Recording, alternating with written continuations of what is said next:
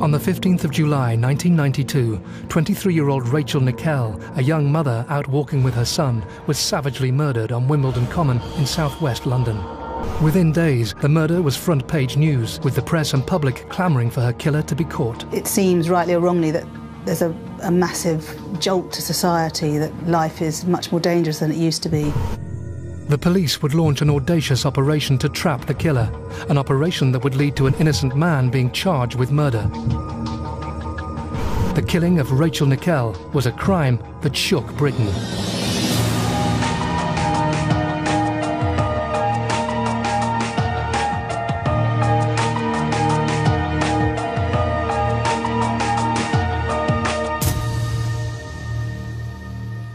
Good evening. The savage knife murder of a young mother in broad daylight stunned detectives in London today.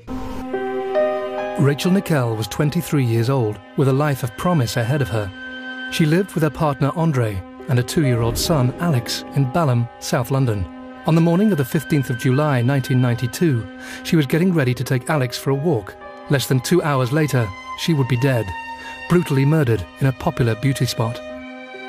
Across London, on the tough Alton estate in Roehampton, less than a mile from Wimbledon Common, local man Colin Stagg had woken up early and was preparing to take his dog for a walk. I initially did go on the common very early in the morning, just to walk my dog.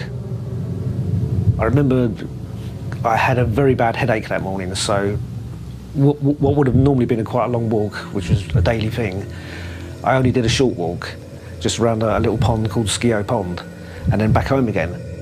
With his headache getting worse, Colin decided to take some painkillers and settle down on his sofa to sleep it off. The time is around 9.25. As Colin slept, Rachel, Alex and their dog Molly had set off across the common for a stroll through the trees. As they enjoyed the early summer sun, they were totally unaware of the killer stalking them. The area of the common, as I recall, I mean, it was, it was really quite wide open. I think the area had some tree cover around it, but essentially this was, this was broad daylight. This was not an area you would think twice about going to. She was killed on a path which was well frequented probably less than 200 yards from an open green area on Wimbledon Common where mothers were walking their children.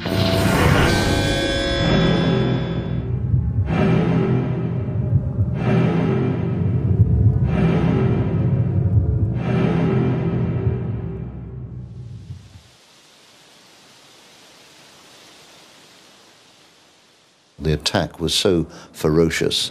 She had over 40 stab wounds to her body and throat.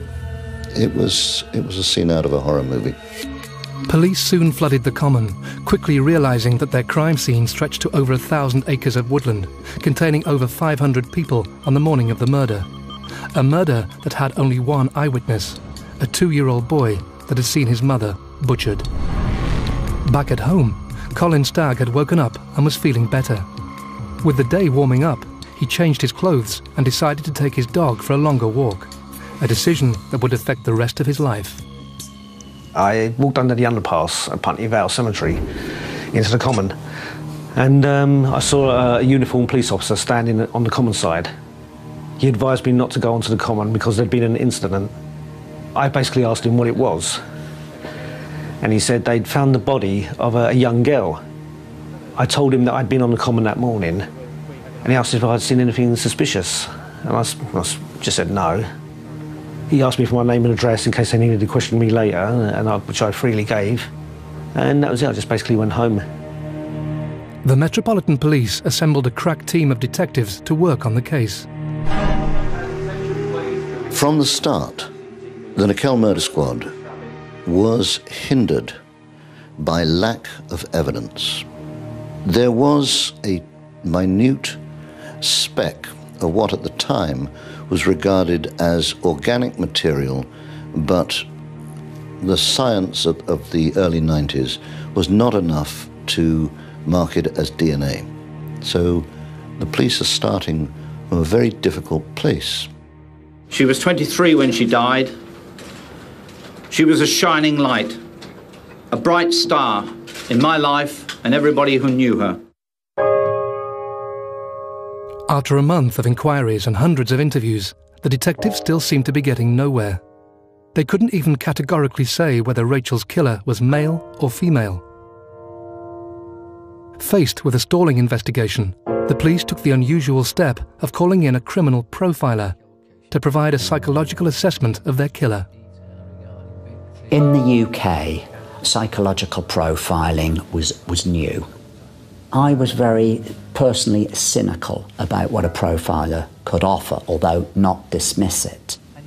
They're not going to be able to name a killer. What they might be able to do is put someone in a bracket and say, well, this type of individual is the sort of thing they could do. The man the detectives turned to was Paul Britton, a renowned criminal psychologist who had worked on several high profile cases in the past, including the abduction of Stephanie Slater.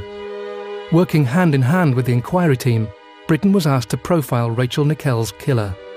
There were two, two profiles written, one which I guess we might call a demographic profile, someone between 20 and 30 with isolated hobbies who probably lives on his own and probably doesn't live very far from the common. And the second one was this so called sexual fantasy profile, where he talked about the sort of things the offender would be interested in, which was sexually sadistic fantasies. And he actually listed some of these. Would be interested in knives and uh, the occult and that type of thing. The profile provided by Mr. Britton bore an uncanny resemblance to Colin's own life. The profiles, along with a photo fit of a possible suspect, were featured in a national TV appeal. The appeal prompted hundreds of calls from members of the public, and many were claiming they knew who the man in the photo fit was. The police were inundated with calls, putting a name to this face, Colin Francis Stagg. Early in the morning, uh, it was about eight, nine o'clock, I think it was. Someone was knocking on my door. I opened it, and it was uh, plainclothes officers. And they said uh, they wanted to question me in regard to the Rachel Nickell murder. To be fair to the police, they had interviewed other suspects. They had followed up other leads. But as time wore on, those leads and those suspects petered out.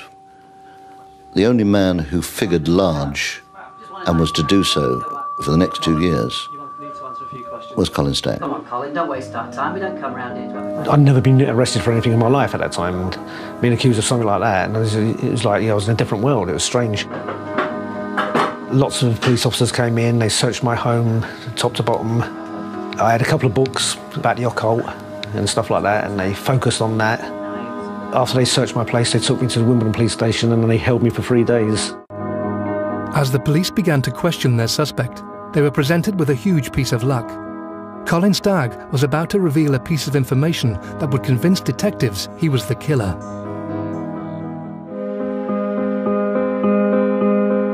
On the 15th of July 1992, Rachel Nickell was walking with her two-year-old son Alex on Wimbledon Common. In a few short minutes, a laughter-filled stroll in a popular beauty spot would be turned into a scene of horror.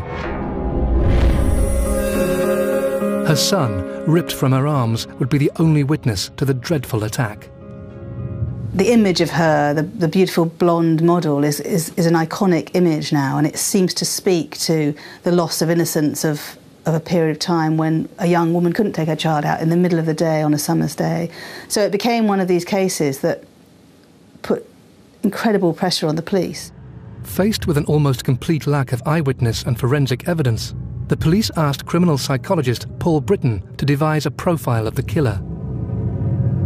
This profile, along with a well publicised photo fit of a suspect seen near the murder site, led to the spotlight falling on local man Colin Stagg, who lived a few minutes' walk from Wimbledon Common. I can see why Colin Stagg rose to the top of this inquiry. He almost offered himself up, quite frankly. He was on the common at the time. He's, he's a known loner, nothing wrong with that. But sometimes with that, perceived to be just a little bit odd in some way or another. Stagg had admitted being on the common on the morning of the murder, and this, along with evidence found during the search of his flat, made him the prime suspect. Colin Stagg was arrested at his home, taken to Wimbledon Police Station, and questioned. I've never been arrested before uh, for, for any crime, and uh, it was it was very very scary. Amazingly, for the, the police officers uh, involved, um, he talked frankly and openly. He didn't deny anything, but ex- other than to insist that he had not murdered this young mother. As police continued to question Colin, a search of past incidents on the common delivered a breakthrough. They discovered a sighting by a woman of a man who was lying naked on the common, who she claimed exposed himself to her. Basically, I was just doing uh, nude sunbathing, which I did in regular spot every summer, and it was an area used by nude sunbathers. I pleaded guilty to it because I thought, well, basically, you know, I've been advised to by my solicitor, and I just wanted to get out of there. I didn't want these things to drag on, so I thought, get rid of it. I got a fine for £200, and after that, uh, I was released after three days. That decision was to have long and lasting effects on the case and his life. By naively admitting to the indecent exposure charge, Colin Stagg fueled the police's notion that he possessed the characteristics laid down by Paul Britton's profile of the killer. As Colin returned to his life on the Alton estate, where he assumed the traumas of the past months were behind him for good, a seemingly innocent search for companionship years before the killing of Rachel Nickell would come back to haunt him. I think it was about two years prior to the murder of Rachel Nickell. I answered a, a dating advert for friendship and so I wrote a letter to Julie Pines. We got on okay, you know, we ch- chatted on telephone at first and we seemed to be okay. And then, being a normal red blooded man, you know, I thought, you know, this could go a bit further. So I just chanced my arm really and wrote her a, a, a sexual letter. It was just of a, a mild sexual fantasy of um, meeting a woman in the open air, getting on together and having sex together in the open air. And she kept that letter for two years, and she contacted the police when I was arrested for those three days, and that was it. And the police, once they read that letter, and of course Rachel Nickell was murdered in the woodlands, they seemed to find a connection with that. After a detailed examination of the letter from Julie Pines, the police were now even more certain that Colin had murdered Rachel Nickell. They were still, however, completely unable to prove it. Faced with an ever mounting pressure from both senior officers and the public, the inquiry team hit upon a daring idea. It was believed, now we know hugely problematically, that it would be useful to get an undercover operative in there to evaluate whether Stagg had any guilty knowledge of the case. The inquiry team wasted no time in recruiting a star female undercover officer known during and after the operation as Lizzie James. With her in place, and after lengthy consultations with Paul Britton, Operation Edzell, as it was codenamed, began. The carefully concocted plan, made with the approval of senior Metropolitan police officers and lawyers, was that Lizzie should write to Colin and earn his trust in the hope that he would reveal some intimate knowledge of the crime. I received a, a letter from a woman calling herself Lizzie James, and she claimed that she was a friend of Julie Pines and she had read the letter and she found it interesting and she wanted to get to know me.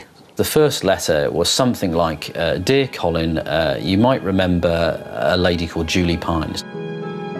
Dear Colin, I hope you're not offended by this intrusion as we've never met before. Julie was fairly close minded. I'm a lot more open minded, and basically, I want to start a dialogue with you. Of course, Stagg, uh, you know, 30 year old guy, getting a bit of attention from a woman, writes back. Dear Lizzie, Thank you so much for your letter, which I read with great interest. We struck up a conversation. I sent letters to her, she'd send letters to me. I'm sure your fantasies hold no bounds, and you're as broad minded and uninhibited as I am. Some of the early letters by Stagg show his degree of naivety, where he talks about making parsnip wine and we'll go out on the, the veranda and have our parsnip wine and I'll kiss you and cuddle you, and, and it's all pretty benign stuff. And then in a very significant letter that she writes back, she says, I need you to show me what a real man is. The things that happened when I was with this man were not what normal people would like. And even though these things are bad and I feel guilty, I can never forget how exhilarating they made me feel. Now, there's only so many ways you can take that, so unsurprisingly, in the next letter, Stagg plays back that exact verbatim sentence I'll show you who a real man is. And then in the next letter, Lizzie James writes back, I need to feel defenseless and humiliated. And guess what? In the next letter, Stagg uses those exact terms defenseless and humiliated. In all my letters, I would always say, Is this the kind of thing you mean? Is this the kind of thing that you like? If not, I apologise, you know, because I was a lot younger never had a real sexual relationship with a woman, so I would have told any woman anything what they wanted to hear if I thought I was going to have sex back then. The exchange of letters continued, and the content quickly became more sexual and violent. To the detectives, it seemed Stagg was playing right into their hands. Encouraged by the results, they decided to take the operation a step further and have the couple meet. I remember the day clearly. I thought she was late. Then I saw this woman, uh, long blonde hair, quite attractive. So I said, mm, you know, excuse me, are you Lizzie James? And she said she was, and she realised who I was. Nice to meet you. So, uh, you got here all right? You found it all right? Yeah, eventually. Sorry if I'm a bit late. And that was the first meeting we had. His first encounter with Lizzie was not the private affair that Colin had hoped for. The park was full of undercover officers, watching every move he made, each of them fully aware that one of their colleagues was meeting with a supposed sadistic killer.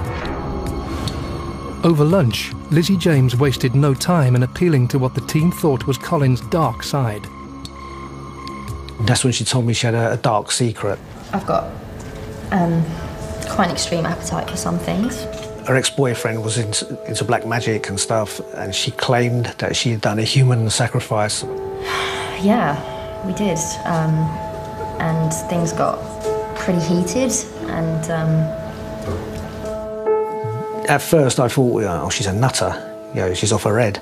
But she was very attractive. And again, all I was thinking about was like, yeah, you know, just in one ear and out the other.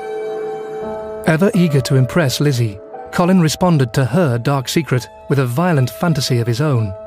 It wasn't long before their exchanges turned to the murder on Wimbledon Common. I told her, I think I was on the second or the third meeting, uh, that I had been arrested uh, for the Rachel Nickell murder. And she found that very exciting. Lizzie James wanted me to be the murderer. Uh, she said she could only be with a man who could have committed that crime Uh, and to have sex with that man.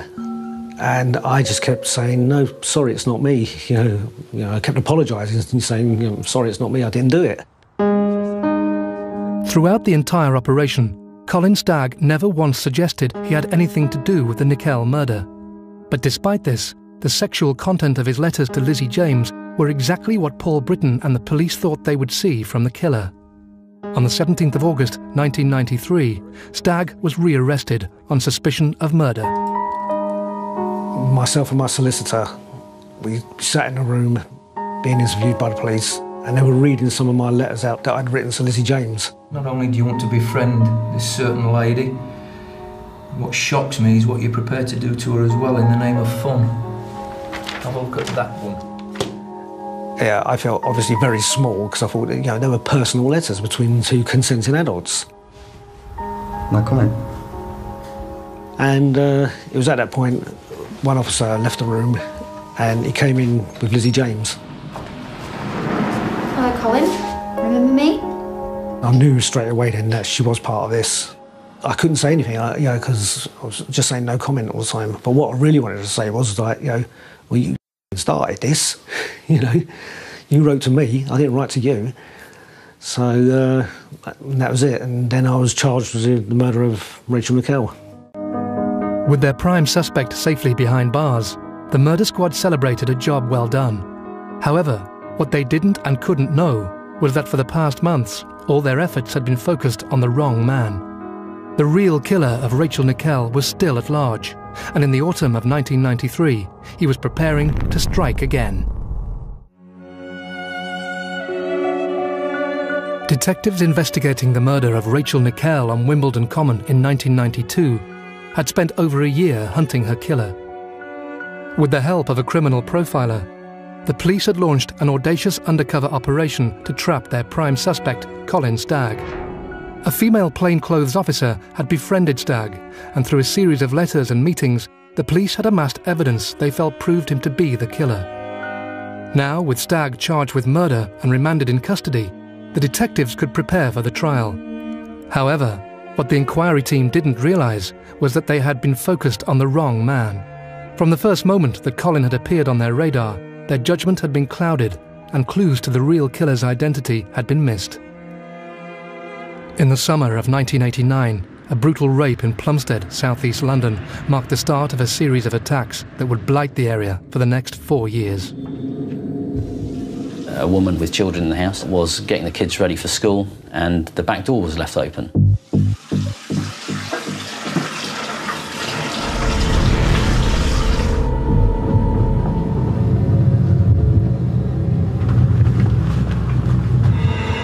Turned around after drying her hair to see the offender standing there with a knife, uh, threatening her and threatening to attack the children if she didn't comply. And that rape was the first of what became known as the Green Chain Rapes, which was a series of attacks along Green Chain Walk in southeast London. These rapes went on for a number of years and no one was caught for them. Tragically, the Green Chain rapes could have been stopped after the first attack.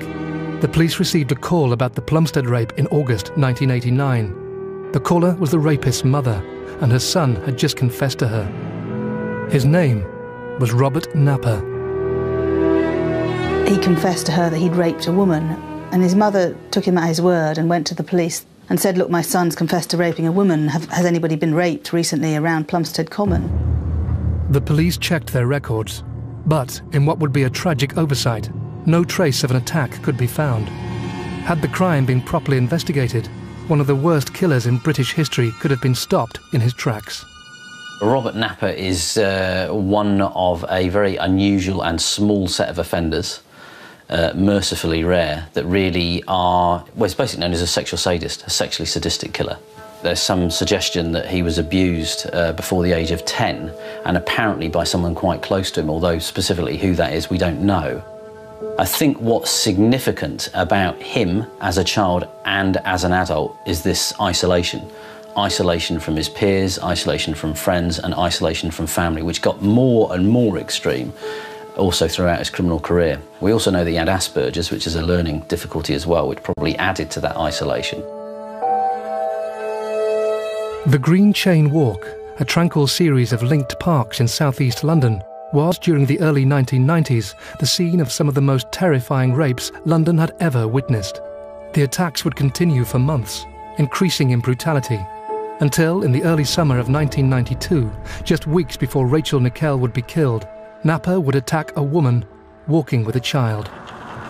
Napper jumped out at her, pushed her to the ground, tried to strangle her in front of her child, and, and brutally raped her while she pleaded for him not to kill her.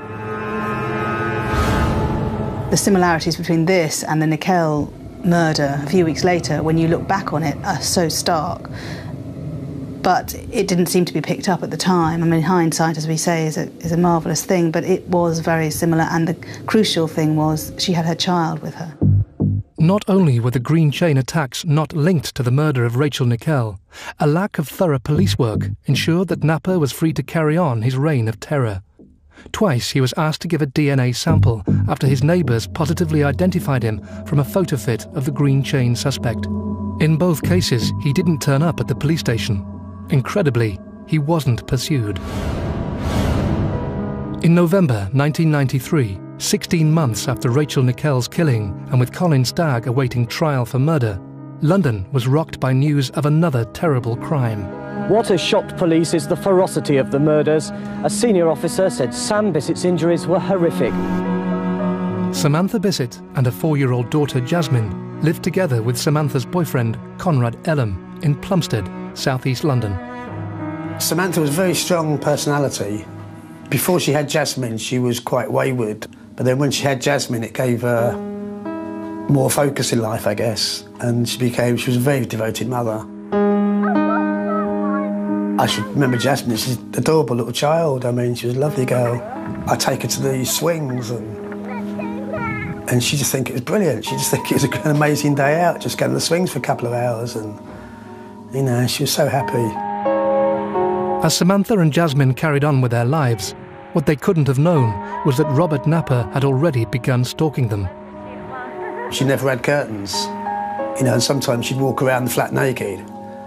And I'd say, look, you know, you should be careful here. There could be like peeping Tom looking in. And it was only a week or so before the murder when she did actually see someone looking in through a bedroom window one night. I think after that she was a bit more careful, but I guess it's too late by then.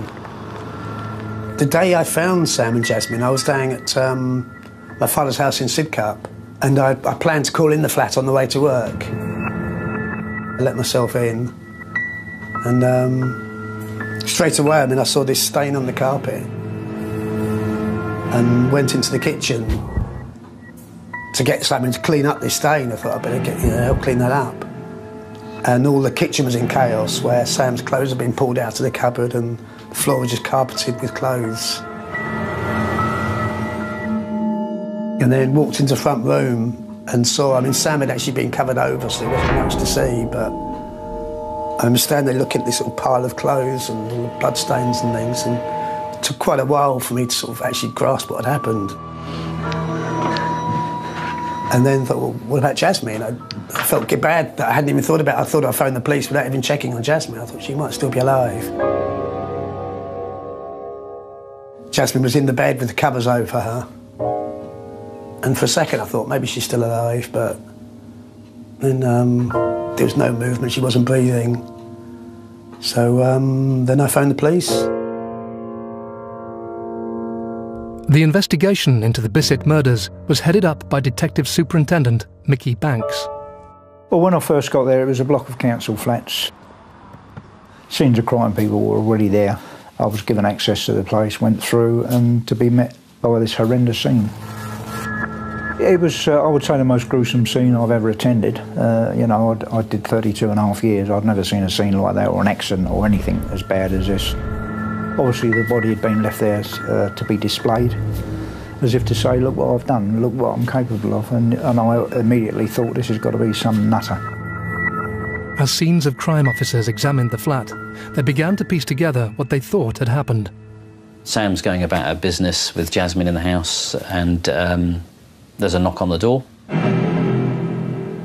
At that point, a very sudden, violent attack takes place where Napper immediately stabs her with a knife, takes her into the lounge, and then commits some horrific acts of mutilation on her.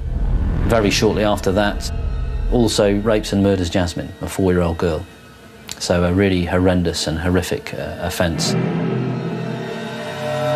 One of the first things that struck Mickey Banks was that his case could be linked to the Green chain rapes. To test this theory, he enlisted the help of the criminal profiler who had worked on the Green Chain rape inquiry and the Rachel Nickell murder investigation, Paul Britton. The amazing thing about Paul Britton's involvement was that he was involved as an advisor on the Green Chain rapes. He was an advisor on the Bissett murder and he was an advisor in the Stagg case. And at no point does he talk about the possibility of them being linked. And he worked on all three cases and Napper walked through all three of them, completely unseen. By early 1994, there were three different police inquiries running in South London, all independently and unknowingly investigating the crimes of one man, Robert Napper. The Green Chain team had ruled out Napper as a suspect for being too tall. Tellingly, they had not pursued him when he had twice failed to provide a DNA sample. Mickey Banks had also invited the Rachel Nickell murder squad to Plumstead to discuss whether their respective crimes could be linked. They'd already charged Stagg, and they were convinced that they had the right man. This was the attitude I got from their officers when they came to, to visit us, and we discussed both cases, but they would only tell me what they wanted me to know. They were convinced Stagg was their murderer. It was as simple as that. Paul Britton, the one man who had intimate knowledge of both cases, reinforced the lack of a connection between the Nickell and Bissett murders. I think Mickey Banks says to Paul Britton, Are they not linked? And Paul Britton says, No, they're not linked because it doesn't have the same degree of frenzy. And my answer to that is, well, it's pretty simple that if you've got a victim inside a house and in a confined area, you can do more or less what you want with them and you can express whatever weird sexually deviant fantasies you have. Meanwhile, the Bissett murder squad had received the break they had been waiting for. In a twist of fate, the fingerprints of victim Samantha Bissett were uncannily similar to those of Robert Napper, and in the first sweep of the crime scene, they were assumed to be the same prints. However, a re examination had spotted the differences, and detectives now had a fingerprint of their killer. There was a fingerprint found which matched about six or seven points of Napper's fingerprints. This was found on the balcony outside the address and uh, was subsequently found to be partially comparable to him. He became a very good suspect for us. The police had his fingerprints on file from um, a number of different offences. So as soon as they found, realised that these were someone else's prints, they looked on their computer and his name came up. Not only did Robert Napper appear in the system, it emerged after his conviction that police files were littered with clues that pointed to him being a depraved sex offender. Clues that were, at the time, largely ignored. Robert Napper had cropped up on the police radar at least eight times before he murdered Samantha Bissett and her daughter. And I think most significantly is in 1992 when he was arrested for stalking a civilian employee at the police station in Plumstead. And police went round to his flat and searched his flat.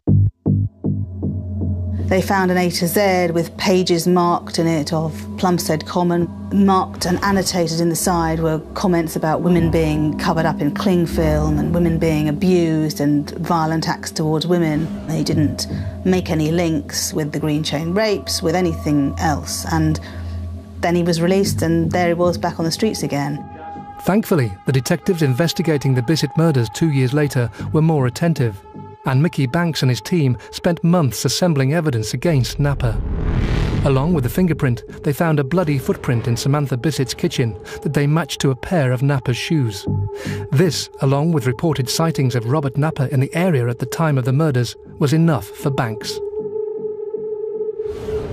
Well, his interview was uh, stone cold he seemed as if he was looking down on us, that he knew something we didn't know, and he, he seemed, to my mind, that he was sort of, you're never going to find out, I am who I am, I'm better than you. In his own mind, he was laughing at us. In May 1994, Robert Napper was charged with the murders of Samantha and Jasmine Bissett. A DNA sample taken at the time also proved conclusively that Napper was the Green Chain rapist. He was placed on remand awaiting trial. Across London, another remand prisoner, Colin Stagg, was about to have his day in court. Charged with the murder of Rachel Nickell, it wouldn't just be Stagg on trial. Also under scrutiny would be the Metropolitan Police themselves and the audacious operation to ensnare their suspect. In July 1992, 23-year-old mother Rachel Nickell was murdered on Wimbledon Common. Detectives investigating the horrific crime used a female undercover police officer to befriend prime suspect Colin Stagg and earn his trust, in the hope that he would either confess to the crime or reveal evidence that he was involved.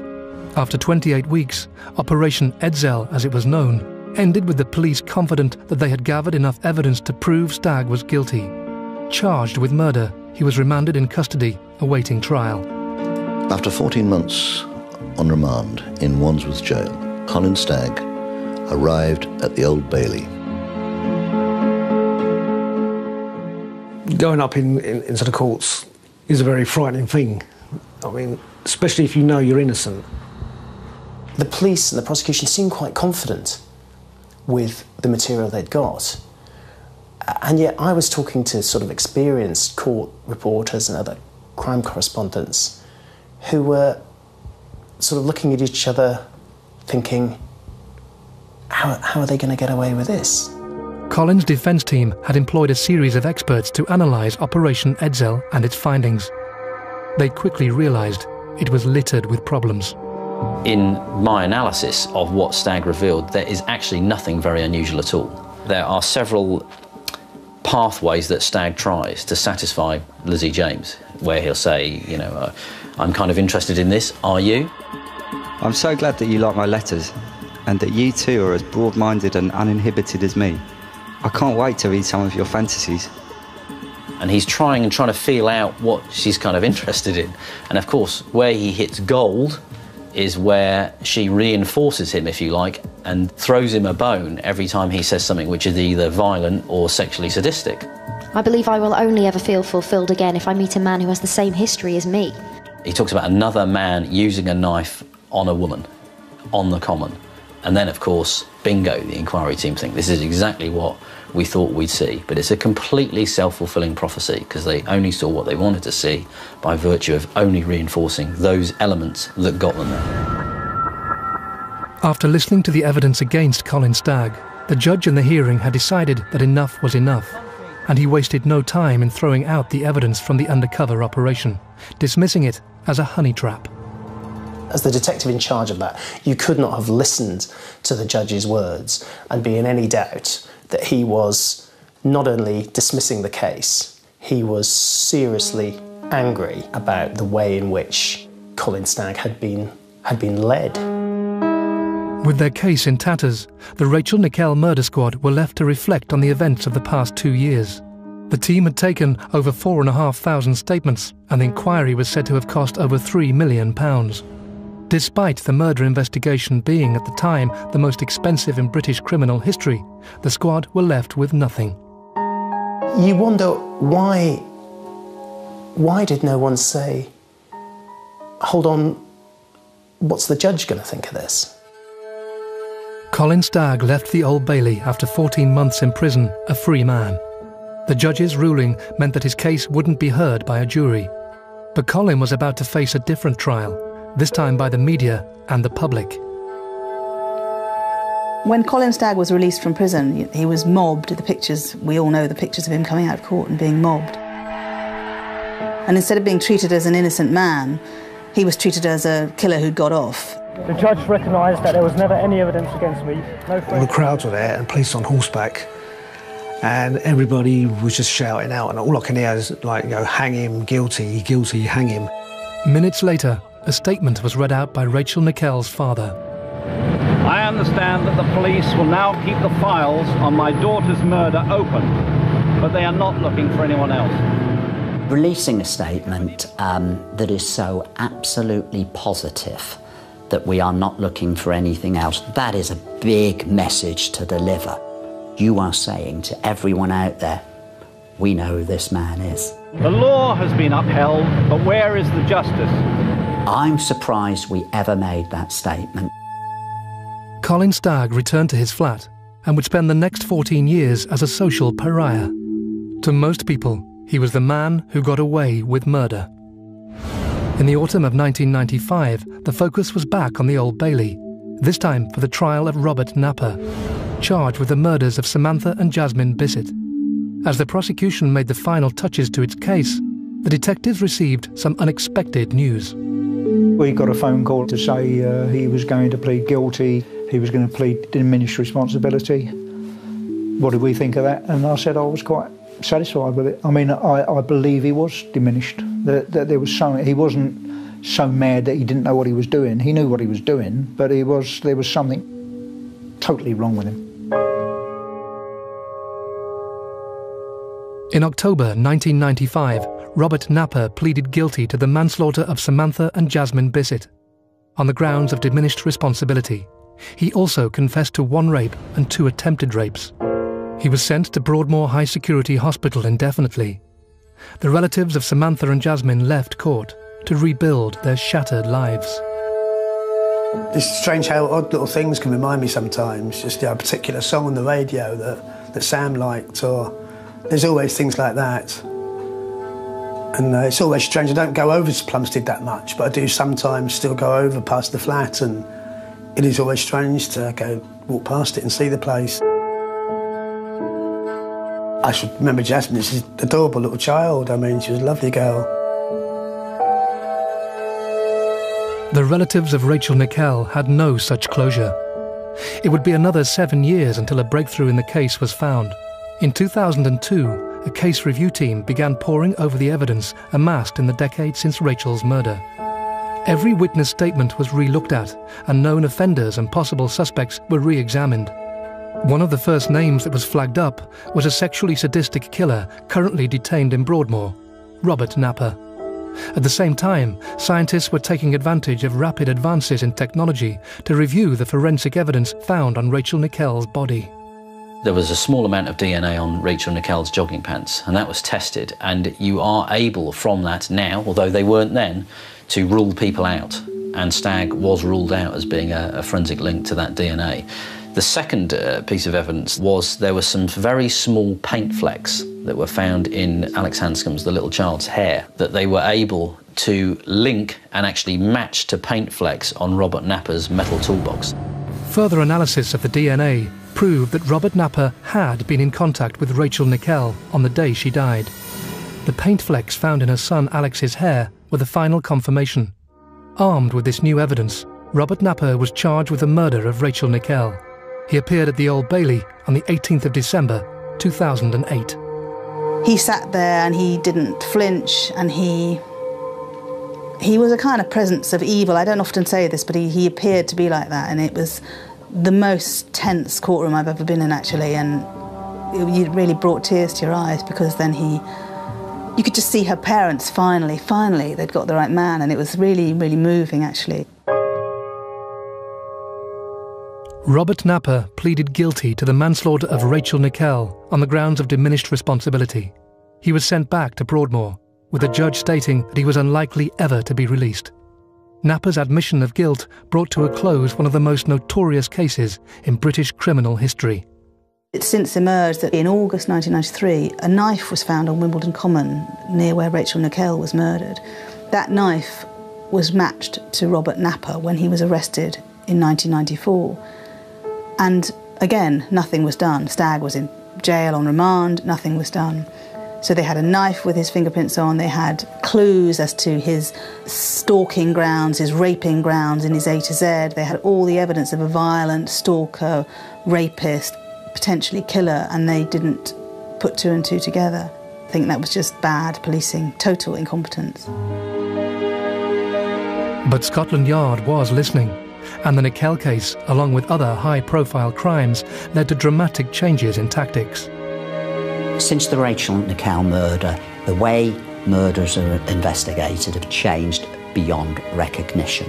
Nowadays, you have dedicated murder investigation teams who are specialists. And with that, what has evolved from that is probably the most effective way of, of investigating murder anywhere in the world. Colin Stagg, for so long at the heart of the case, would receive over £700,000 in compensation from the Home Office as well as an apology from the Metropolitan Police. The shadow of the murder, however, has stayed with him. There are still people today who don't know that they've actually got the man who did kill Rachel Nickell. They always say to me, like, you know, did they ever get the bloke who did it? He was, for years, treated as a pariah, and his life was ruined. You know, he wasn't serving a sentence inside, but he was serving a sentence outside. And had Napper never been caught, you know, Colin Stagg would still be the man who killed Rachel Nickell to this day, I think.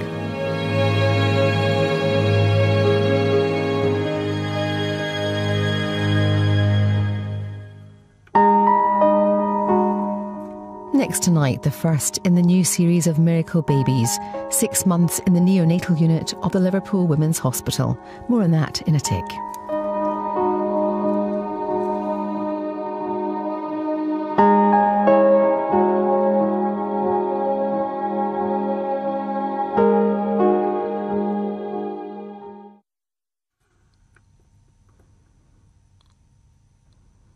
Chain rapes, with anything else. And then he was released, and there he was back on the streets again.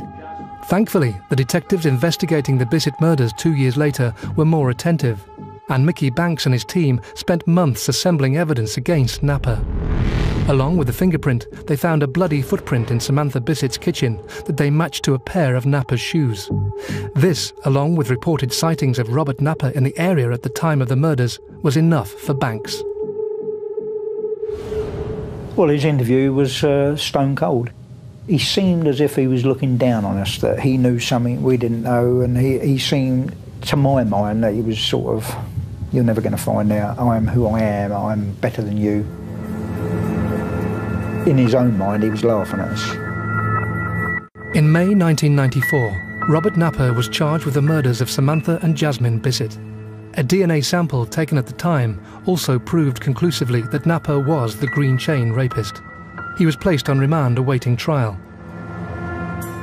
Across London, another remand prisoner, Colin Stagg, was about to have his day in court. Charged with the murder of Rachel Nickell, it wouldn't just be Stagg on trial. Also under scrutiny would be the Metropolitan Police themselves and the audacious operation to ensnare their suspect. In July 1992, 23-year-old mother Rachel Nickell was murdered on Wimbledon Common. Detectives investigating the horrific crime used a female undercover police officer to befriend prime suspect Colin Stagg and earn his trust, in the hope that he would either confess to the crime or reveal evidence that he was involved. After 28 weeks, Operation Edzell, as it was known, ended with the police confident that they had gathered enough evidence to prove Stagg was guilty. Charged with murder, he was remanded in custody, awaiting trial. After 14 months on remand in Wandsworth Jail, Colin Stagg arrived at the Old Bailey. Going up in, in, into the courts is a very frightening thing. I mean, especially if you know you're innocent. The police and the prosecution seemed quite confident with the material they'd got. And yet, I was talking to sort of experienced court reporters and other crime correspondents who were sort of looking at each other, thinking, how, how are they going to get away with this? Colin's defence team had employed a series of experts to analyse Operation Edzell and its findings. They quickly realised it was littered with problems. In my analysis of what Stagg revealed, there is actually nothing very unusual at all. There are several pathways that Stagg tries to satisfy Lizzie James, where he'll say, you know, uh, I'm kind of interested in this, are you? I'm so glad that you like my letters and that you too are as broad minded and uninhibited as me. I can't wait to read some of your fantasies. And he's trying and trying to feel out what she's kind of interested in. And of course, where he hits gold is where she reinforces him, if you like, and throws him a bone every time he says something which is either violent or sexually sadistic. I believe I will only ever feel fulfilled again if I meet a man who has the same history as me. He talks about another man using a knife on a woman on the common. And then, of course, bingo, the inquiry team think this is exactly what we thought we'd see. But it's a completely self fulfilling prophecy because they only saw what they wanted to see by virtue of only reinforcing those elements that got them there. After listening to the evidence against Colin Stagg, the judge in the hearing had decided that enough was enough, and he wasted no time in throwing out the evidence from the undercover operation, dismissing it as a honey trap as the detective in charge of that, you could not have listened to the judge's words and be in any doubt that he was not only dismissing the case, he was seriously angry about the way in which Colin Stagg had been, had been led. With their case in tatters, the Rachel Nickell murder squad were left to reflect on the events of the past two years. The team had taken over four and a half thousand statements, and the inquiry was said to have cost over three million pounds. Despite the murder investigation being at the time the most expensive in British criminal history, the squad were left with nothing. You wonder why why did no one say hold on what's the judge going to think of this? Colin Stagg left the Old Bailey after 14 months in prison, a free man. The judge's ruling meant that his case wouldn't be heard by a jury. But Colin was about to face a different trial, this time by the media and the public. When Colin Stagg was released from prison, he was mobbed. The pictures, we all know the pictures of him coming out of court and being mobbed. And instead of being treated as an innocent man, he was treated as a killer who'd got off. The judge recognised that there was never any evidence against me. No all the crowds were there and police on horseback and everybody was just shouting out and all I can hear is like, you know, hang him, guilty, guilty, hang him. Minutes later, a statement was read out by Rachel Nickell's father. I understand that the police will now keep the files on my daughter's murder open, but they are not looking for anyone else. Releasing a statement um, that is so absolutely positive that we are not looking for anything else, that is a big message to deliver. You are saying to everyone out there, we know who this man is. The law has been upheld, but where is the justice? I'm surprised we ever made that statement. Colin Stagg returned to his flat and would spend the next 14 years as a social pariah. To most people, he was the man who got away with murder. In the autumn of 1995, the focus was back on the Old Bailey, this time for the trial of Robert Napper, charged with the murders of Samantha and Jasmine Bissett. As the prosecution made the final touches to its case, the detectives received some unexpected news. We got a phone call to say uh, he was going to plead guilty, he was going to plead diminished responsibility. What did we think of that? And I said I was quite satisfied with it. I mean, I, I believe he was diminished. That, that there was so he wasn't so mad that he didn't know what he was doing. He knew what he was doing, but he was there was something totally wrong with him. In October 1995, Robert Napper pleaded guilty to the manslaughter of Samantha and Jasmine Bissett on the grounds of diminished responsibility. He also confessed to one rape and two attempted rapes. He was sent to Broadmoor High Security Hospital indefinitely. The relatives of Samantha and Jasmine left court to rebuild their shattered lives. It's strange how odd little things can remind me sometimes. Just a particular song on the radio that, that Sam liked, or there's always things like that. And uh, it's always strange. I don't go over to Plumstead that much, but I do sometimes still go over past the flat, and it is always strange to go walk past it and see the place. I should remember Jasmine. She's an adorable little child. I mean, she was a lovely girl. The relatives of Rachel Nickell had no such closure. It would be another seven years until a breakthrough in the case was found. It was in a different world. It was strange. Lots of police officers came in, they searched my home top to bottom. I had a couple of books about the occult and stuff like that, and they focused on that. After they searched my place, they took me to the Wimbledon police station and they held me for three days. As the police began to question their suspect, they were presented with a huge piece of luck. Colin Stagg was about to reveal a piece of information that would convince detectives he was the killer.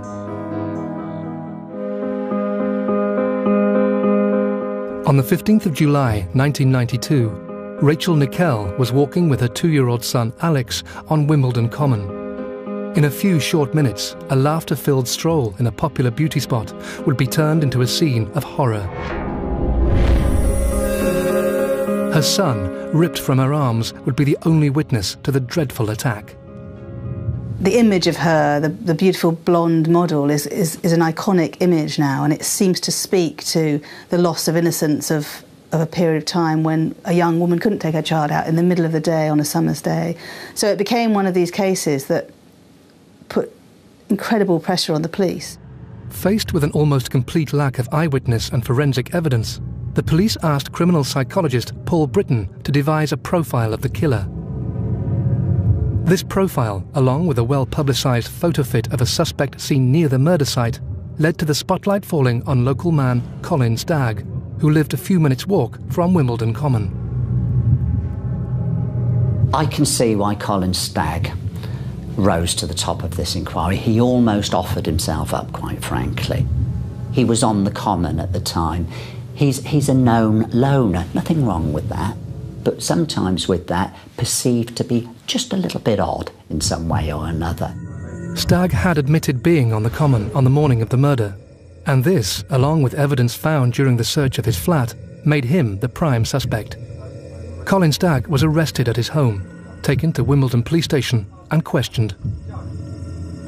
I've never been arrested before uh, for, for any crime, and uh, it was it was very very scary amazingly for the, the police officers uh, involved, um, he talked frankly and openly. He didn't deny anything, but ex- other than to insist that he had not murdered this young mother. As police continued to question Colin, a search of past incidents on the Common delivered a breakthrough. They discovered a sighting by a woman of a man who was lying naked on the common, who she claimed exposed himself to her. Basically, I was just doing uh, nude sunbathing, which I did in a regular spot every summer, and it was an area used by nude sunbathers.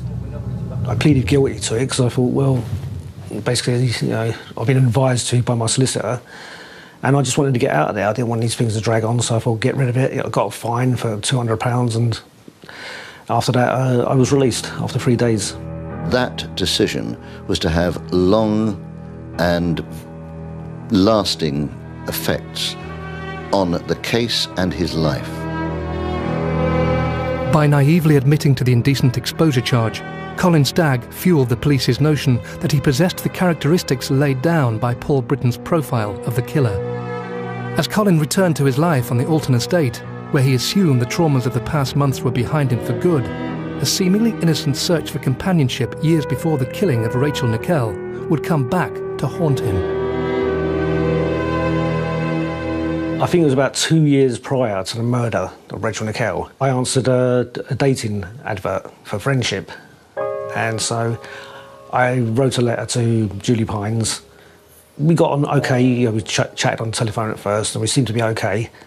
And then being a normal red-blooded man, you know, I thought, you know, this could go a bit further. So I just chanced my arm really and wrote her a, a, a sexual letter. It was just of a, a mild sexual fantasy of um, meeting a woman in the open air, getting on together and having sex together in the open air. And she kept that letter for two years, and she contacted the police after, when I was arrested for those three days, and that was it. And the police, once they read that letter, and of course Rachel Nickell was murdered in the woodlands, they seemed to find a connection with that. After a detailed examination of the letter from Julie Pines, the police were now even more certain that Colin had murdered Rachel Nickell. They were still, however, completely unable to prove it. Faced with an ever mounting pressure from both senior officers and the public, the inquiry team hit upon a daring idea. It was believed, now we know hugely problematically, that it would be useful to get an undercover operative in there to evaluate whether Stagg had any guilty knowledge of the case. The inquiry team wasted no time in recruiting a star female undercover officer, known during and after the operation as Lizzie James. With her in place, and after lengthy consultations with Paul Britton, Operation Edzell, as it was codenamed, began. The carefully concocted plan, made with the approval of senior Metropolitan police officers and lawyers, was that Lizzie should write to Colin and earn his trust in the hope that he would reveal some intimate knowledge of the crime. I received a, a, letter from a woman calling herself Lizzie James, and she claimed that she was a friend of Julie Pines, and she had read the letter and she found it interesting, and she wanted to get to know me. The first letter was something like, uh, "Dear Colin, uh, you might remember a lady called Julie Pines." Dear Colin, I hope you're not offended by this intrusion, as we've never met before. Julie was fairly close minded. I'm a lot more open minded, and basically, I want to start a dialogue with you. Of course, Stagg, uh, you know, 30 year old guy, getting a bit of attention from a woman, writes back Dear Lizzie, thank you so much for your letter, which I read with great interest. We struck up a conversation. I sent letters to her, she'd send letters to me. I'm sure your fantasies hold no bounds, and you're as broad minded and uninhibited as I am. Some of the early letters by Stagg show his degree of naivety, where he talks about making parsnip wine and we'll go out on the, the veranda and have our parsnip wine and I'll kiss you and cuddle you, and, and it's all pretty benign stuff. And then in a very significant letter that she writes back, she says, I need you to show me what a real man is. The things that happened when I was with this man were not what normal people would like. And even though these things are bad and I feel guilty, I can never forget how exhilarating they made me feel.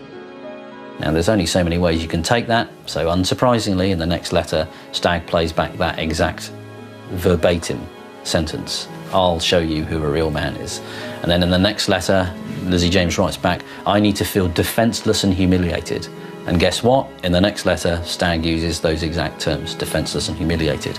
In all my letters, I would always say, is this the kind of thing you mean? Is this the kind of thing that you like? If not, I apologise, you know, because I was a lot younger, never had a real sexual relationship with a woman, so I would have told any woman anything what they wanted to hear if I thought I was going to have sex back then. The exchange of letters continued, and the content quickly became more sexual and violent. To the detectives, On the 15th of July 1992, 23-year-old Rachel Nickell, a young mother out walking with her son, was savagely murdered on Wimbledon Common in southwest London.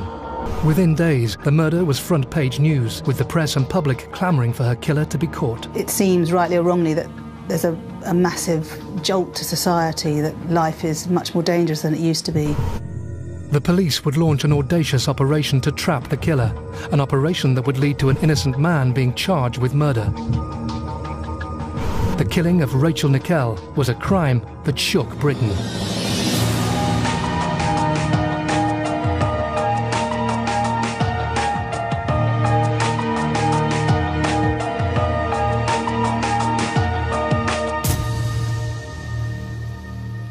Good evening. The savage knife murder of a young mother in broad daylight stunned detectives in London today. Rachel Nickell was 23 years old, with a life of promise ahead of her. She lived with her partner Andre and a two year old son, Alex, in Balham, South London.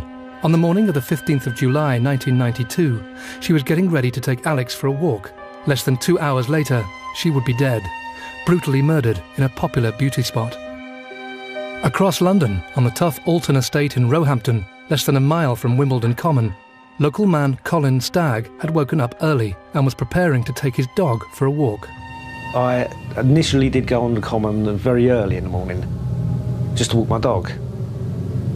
I remember I had a very bad headache that morning, so what, would have normally been a quite a long walk, which was a daily thing, I only did a short walk, just around a, a little pond called Scio Pond and then back home again. With his headache getting worse, Colin decided to take some painkillers and settle down on his sofa to sleep it off. The time is around 9.25. As Colin slept, Rachel, Alex and their dog Molly had set off across the common for a stroll through the trees. As they enjoyed the early summer sun, they were totally unaware of the killer stalking them. The area of the common, as I recall, I mean, it was, it was really quite wide open. I think the area had some tree cover around it, but essentially this was, this was broad daylight. This was not an area you would think twice about going to. She was killed on a path which was well frequented, probably less than 200 yards from an open green area on Wimbledon Common where mothers were walking their children.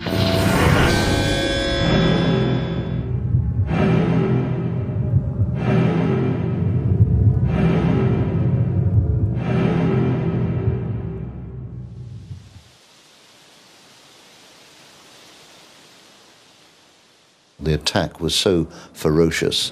She had over 40 stab wounds to her body and throat. It was, it was a scene out of a horror movie.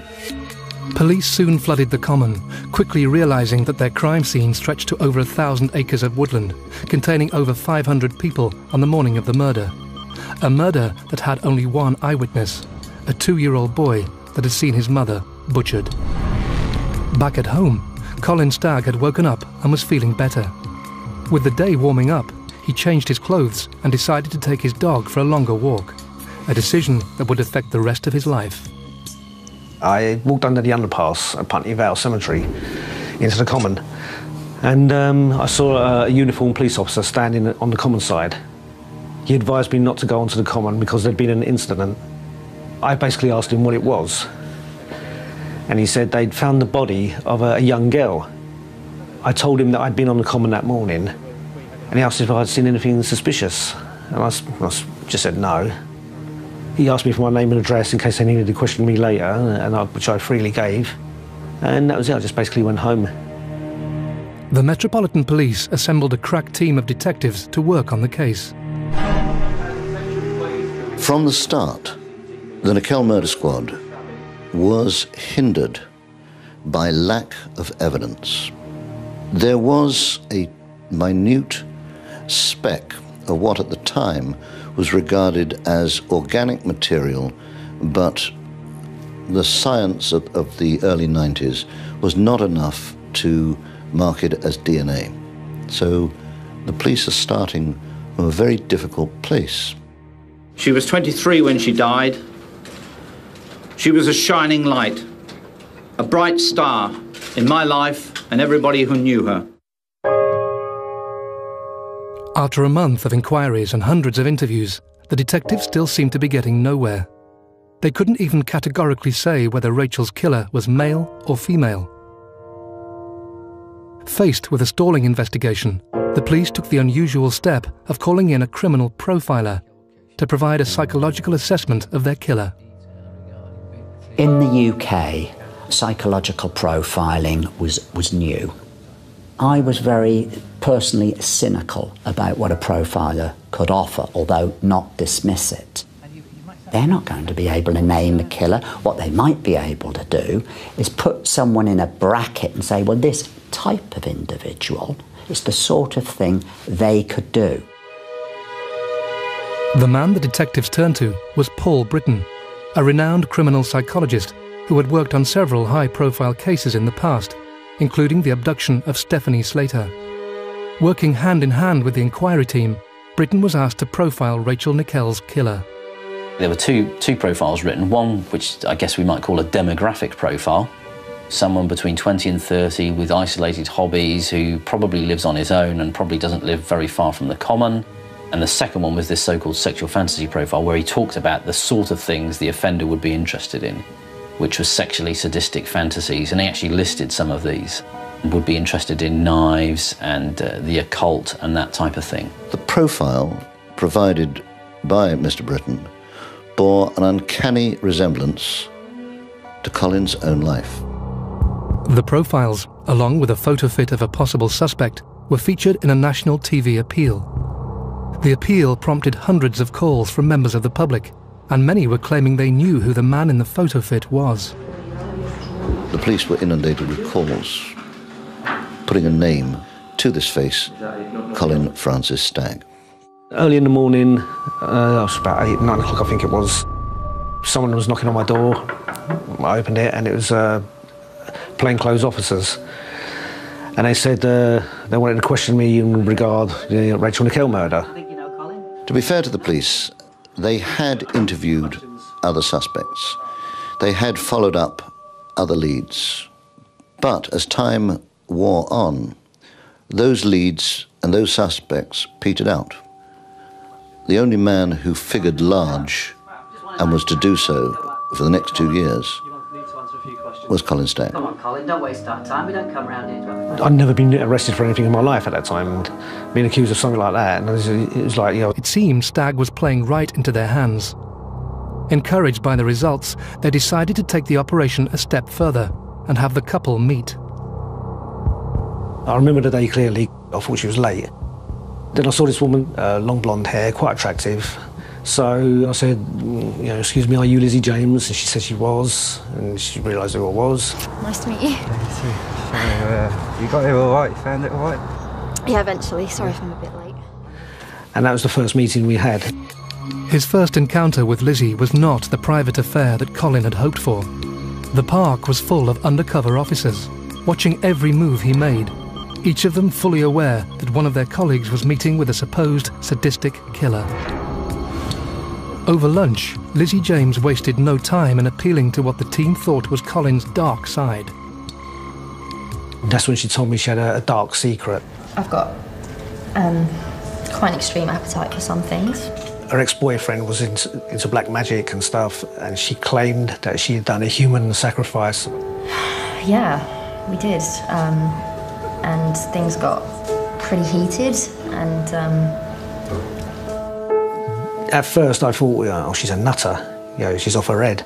But she was very attractive. And again, all I was thinking about was like, yeah, you know, just in one ear and out the other. Ever eager to impress Lizzie, Colin responded to her dark secret with a violent fantasy of his own. It wasn't long before their exchanges turned to the murder on Wimbledon Common. I told her, I think I was on the second or the third meeting, uh, that I had been arrested uh, for the Rachel Nickell murder. And she found that very exciting. Lizzie James wanted me to be the murderer. Uh, she said she could only be with a man who could have committed that crime uh, and to have sex with that man. And I just kept saying, no, sorry, it's not me. You know, you know I kept apologising and saying, you know, sorry, it's not me, I didn't do it. Throughout the entire operation, Colin Stagg never once suggested he had anything to do with the Nickell murder. But despite this, the sexual content of his letters to Lizzie James were exactly what Paul Britton and the police thought they would see from the killer. On the 17th of August 1993, Stagg was rearrested on suspicion of murder. Myself and my solicitor, we sat in a room being interviewed by the police, and they were reading some of my letters out that I'd written to Lizzie James. Not only do you want to befriend this certain lady, what shocks me is what you're prepared to do to her as well in the name of fun. Have a look at that one. Yeah, I felt obviously very small because I thought, you know, there were personal letters between two consenting adults. No comment. And uh, it was at that point one officer left the room and he came in with Lizzie James. Hello, Colin. Remember me? I knew straight away then that she was part of this. I couldn't say anything, I, you know, because I was just saying no comment all the time. But what I really wanted to say was like, you know, well, you started this, you know, you wrote to me, I didn't write to you. So uh, that was it. And then I was charged with the murder of Rachel Nickell. With their prime suspect safely behind bars, the murder squad celebrated a job well done. However, what they didn't and couldn't know was that for the past months, all their efforts had been focused on the wrong man. The real killer of Rachel Nickell was still at large, and in the autumn of 1993, he was preparing to strike again. Detectives investigating the murder of Rachel Nickell on Wimbledon Common in 1992 had spent over a year hunting her killer. With the help of a criminal profiler, the police had launched an audacious undercover operation to trap their prime suspect, Colin Stagg. A female plainclothes officer had befriended Stagg, and through a series of letters and meetings, the police had amassed evidence they felt proved him to be the killer. Now, with Stagg charged with murder and remanded in custody, the detectives could prepare for the trial. However, what the inquiry team didn't realise was that they had been focused on the wrong man. From the first moment that Colin had appeared on their radar, their judgment had been clouded and clues to the real killer's identity had been missed. In the summer of 1989, a brutal rape in Plumstead, southeast London, marked the start of a series of attacks that would blight the area for the next four years. A woman with children in the house was getting the kids ready for school, and the back door was left open.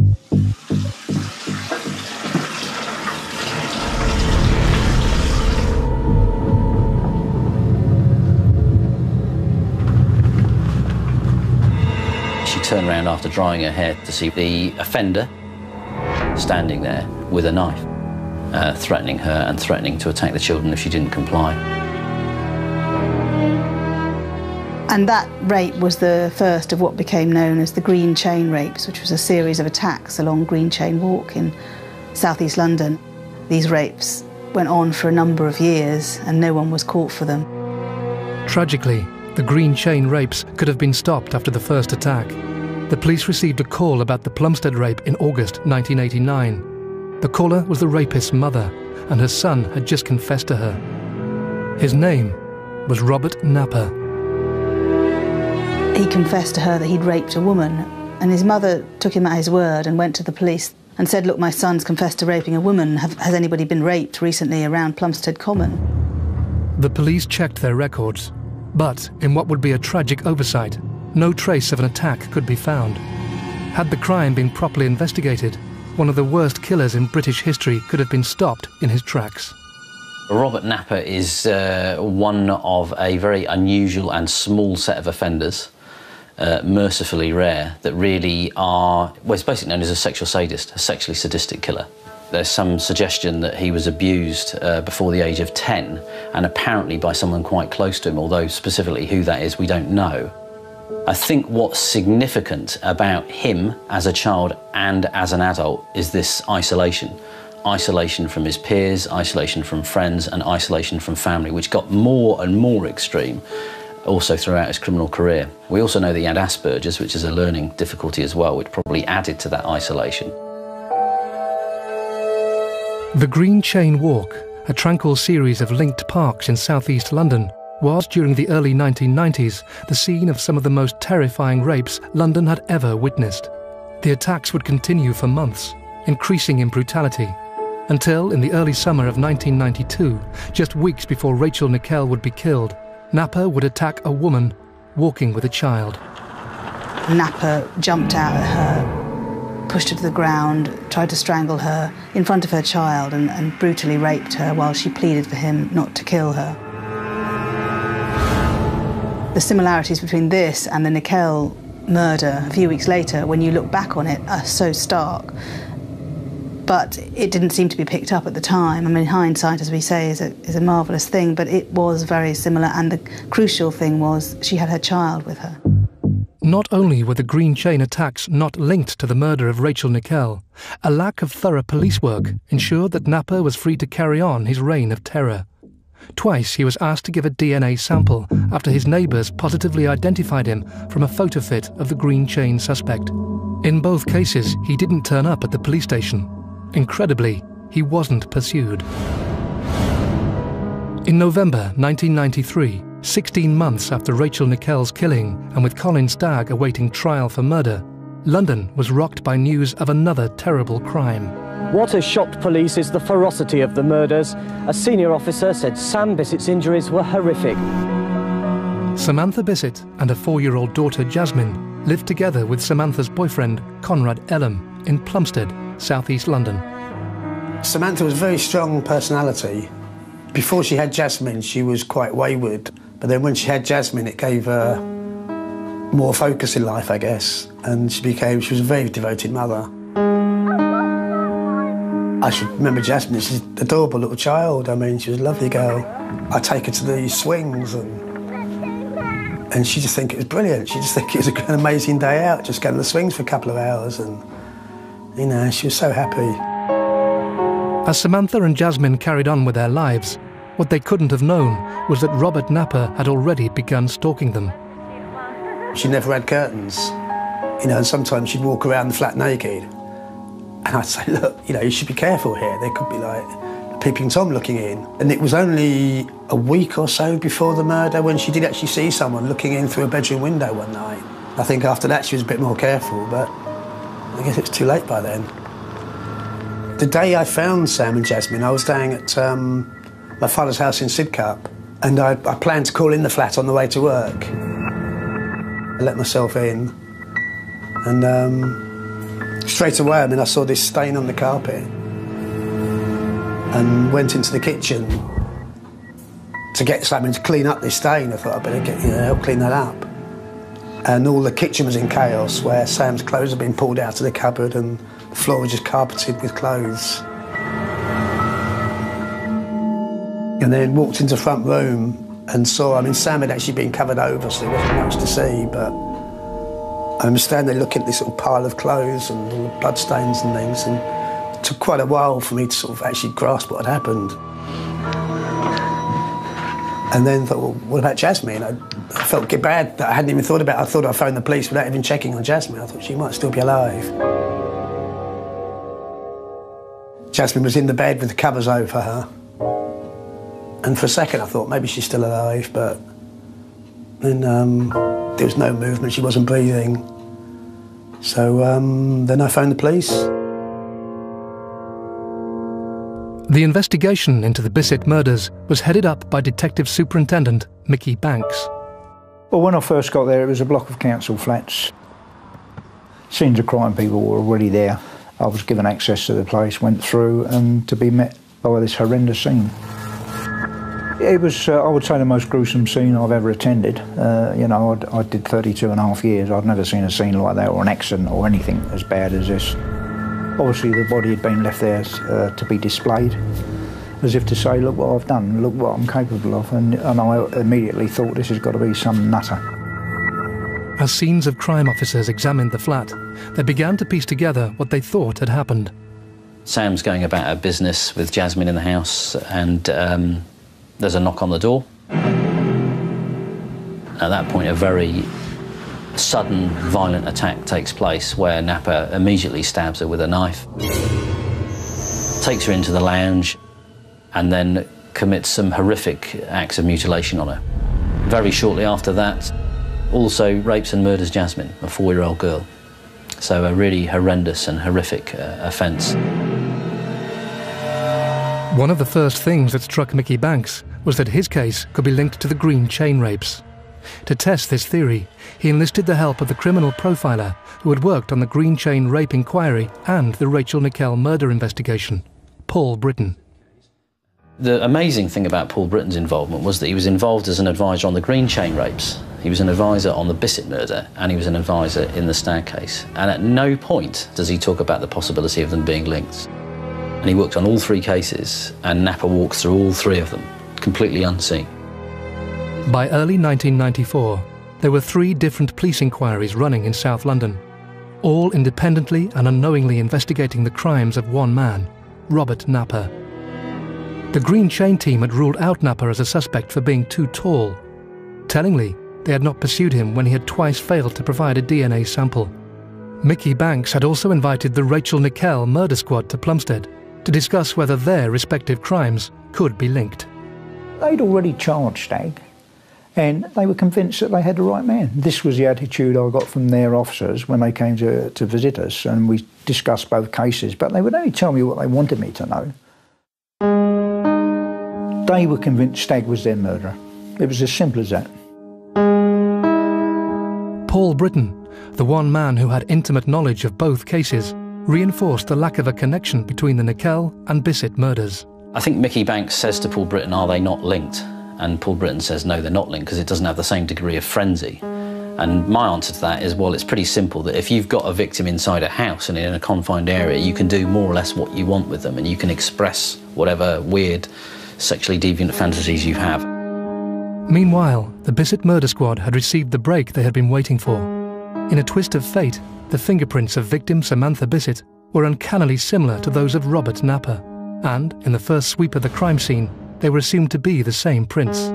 However, a re examination had spotted the differences, and detectives now had a fingerprint of their killer.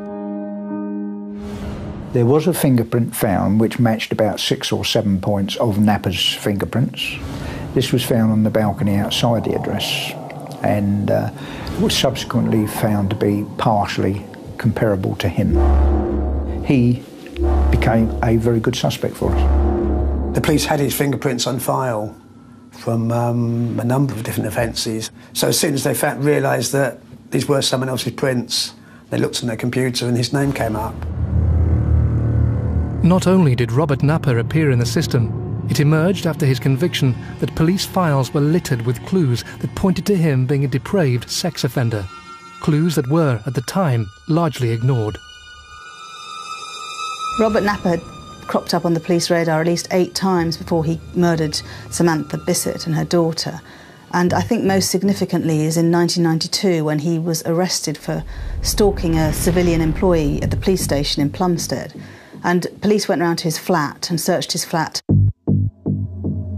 They found an A to Z with pages marked in it of Plumstead Common. Marked and annotated in the side were comments about women being covered up in cling film and women being abused and violent acts towards women. They didn't make any links with the